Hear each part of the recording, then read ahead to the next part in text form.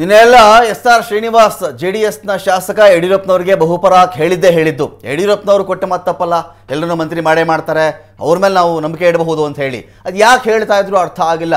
ಏನು B J P ಕಡೆ ಒಲವಿದ್ದಿ ಮಾತು ಹೇಳ್ತಾ ಇದ್ದಾರಾ? ಅಥವಾ ಯಡಿಯೂರಪ್ಪ ಅವರಿಗೆ ಒತ್ತಡದಿಂದಲೇ ಸಿಕ್ಕಾಕ್ಸ್ಬೇಕು ಅಂತ ಹೇಳ್ತಾ ಇದ್ದಾರಾ? ಗೊತ್ತಿಲ್ಲ. ಇವತ್ತು ಇದೇ ಜೆ ಡಿ ಎಸ್ನ ಎಸ್ ಆರ್ ಶ್ರೀನಿವಾಸ್ ಅವರ ಜೊತೆಗೇನೆ ಸಿ ಎಸ್ ಪುಟ್ಟರಾಜು ಅವರು ಧ್ವನಿಗೂಡಿಸ್ತಾ ಇದ್ದಾರೆ. ಏನು ಹೇಳ್ತಾ ಇದ್ದಾರೆ ಅವರು? ನನ್ನದು ಒಂದು ಬಹುಪರ ಇಲ್ಲಿ ಮಂಡ್ಯದ ಗಂಡ್ರಿ ಯಡಿಯೂರಪ್ಪ ಅಂತ ಹೇಳಿದ್ರೆ. ಯಡಿಯೂರಪ್ಪ ಅಂದ್ರೆ ಮಂಡ್ಯದ ಗಂಡು. ಅವ್ರು ಯಾವ ಕಾರಣಕ್ಕೂ ಮಾತಿಗೆ ತಪ್ಪಲ್ಲ ಅಂಥೇಳಿ ಸಿ ಎಂ ಯಡಿಯೂರಪ್ಪ ಅವರ ಪರವಾಗಿ ಸಿ ಎಸ್ ಪುಟ್ಟರಾಜು, ಮಾಜಿ ಸಚಿವರು ಕೂಡ ಹೌದು. ಅವರು ಕೂಡ ಒಂದು ಬಹುಪರಾಕನ್ನ ಸೇರಿಸ್ತಾ ಇದ್ದಾರೆ. ಯಡಿಯೂರಪ್ಪ ಅವರನ್ನ ಹಾಡಿ ಹಾಡಿ ಹೊಗಳ್ತಾ ಇದ್ದಾರೆ ಮಾಜಿ ಸಚಿವ ಪುಟ್ಟರಾಜು. ಇಲ್ಲಿ ಯಡಿಯೂರಪ್ಪ ಅವರನ್ನ ಮಂಡ್ಯದ ಗಂಡು ಅಂತ ಕೂಡ ಸಿ ಎಸ್ ಪುಟ್ಟರಾಜು ಕರೆದಿದ್ದಾರೆ. ಸಿಎಂ ಯಡಿಯೂರಪ್ಪ ಕೊಟ್ಟ ಮಾತಿಗೆ ಯಾವತ್ತೂ ತಪ್ಪಲ್ಲ. ಮಂಡ್ಯದ ಗಂಡವರು, ಹುಡುಗ ಹುಡುಗಾಟನ?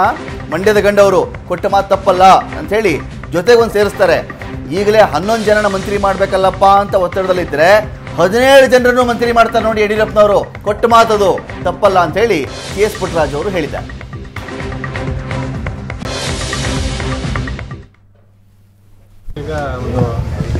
ನೋಡ್ರಿ ಯಡಿಯೂರಪ್ಪರು ಮಂಡ್ಯದ ಗಂಡು. ಗೊತ್ತಾಯ್ತಲ್ಲ ಅವ್ರು ಕೊಟ್ಟು ಮಾತಿಗೆ ಯಾವತ್ತೂ ತಪ್ಪೋದಿಲ್ಲ. ನಿಮ್ಗೆಲ್ರಿಗೂ ಗೊತ್ತು ಹಿಂದೆ ಅವ್ರಿಗೆ ಅಧಿಕಾರ ಕೊಡದೇ ಇದ್ದಾಗ ಮಾತಿಗೆ ತಪ್ಪೋರು ಅಂತ ನಮ್ಮನ್ನು ಜರಿದಿದ್ದಾರೆ. ಆ ಮಟ್ಟಕ್ಕೆ ಧರಿಸ್ಕೋತಾರೆ ಅವರು. ಯಾವುದೇ ಕಾರಣಕ್ಕೂ ಹದಿನೇಳು ಜನನು ಮಂತ್ರಿ ಮಾಡ್ತಾರೆ. ಕೊಡಲೇಬೇಕು ಅದ್ಯಾಕೆ ಮಾತು ನಮ್ಮ ಯಡಿಯೂರಪ್ಪ ಮಾತಿಗೆ ತಪ್ಪಕ್ಕೆ ಸಾಧ್ಯನೇ ಇಲ್ಲ ಕೊಟ್ಟೆ ಕೊಡ್ತಾರೆ. ಹೊಗಳ್ತಾ ಇದೀವಿ ಸರ್ ಮಂಡ್ಯದವರು ನಮ್ಮ ಮಂಡ್ಯದ ಗಂಡದು. ಯಾವುದೇ ಕಾರಣಕ್ಕೂ ಮಾತಿಗೆ ತಪ್ಪಲ್ಲ. ಎಲ್ಲ ಪಕ್ಷದಲ್ಲೂ ಇದ್ದಿದ್ದೆ. ಈಗ ಅವರು ಇಲ್ಲಿ ಮಿನಿಸ್ಟ್ರ್ ಮಾಡಲಿಲ್ಲ ಅಂತಲೇ ಅಲ್ಲಿ ಅಲ್ಲಿ ಮಿನಿಸ್ಟ್ರ್ ಆಗಬೇಕು ಅಂತ ಹೋಗಿರ್ತಕ್ಕಂಥವ್ರು ಅಲ್ಲಿ ಅವ್ರದ್ದೇ ಆಗಿರ್ತಕ್ಕಂಥ ಹೈಕಮಾಂಡ್.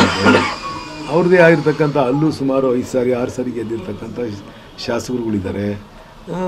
ಅವ್ರನ್ನೂ ಪರಿಗಣನೆ ಮಾಡಬೇಕಾಗುತ್ತೆ.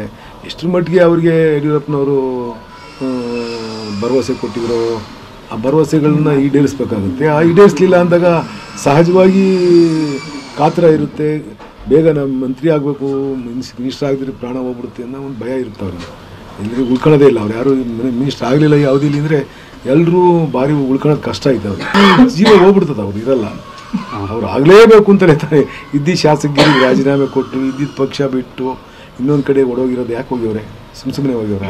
ಅವರೇ ಸೂಸೈಡ್ ಮಾಡ್ಕೊಂಬಿಡ್ತಾರೆ. ಇಲ್ಲಿ ಯಾಕೆಂದರೆ ಅವರು ಮಂತ್ರಿ ಆಗಲಿಲ್ಲ ಅಂದರೆ ಅವರು ಇರೋದೇ ಇಲ್ಲ. ಆಗಲೇಬೇಕು ಅವರು, ಅದರಿಂದ ಮಾಡೇ ಮಾಡ್ತಾರೆ. ಇನ್ನು ನಾನು ನೋಡಿದ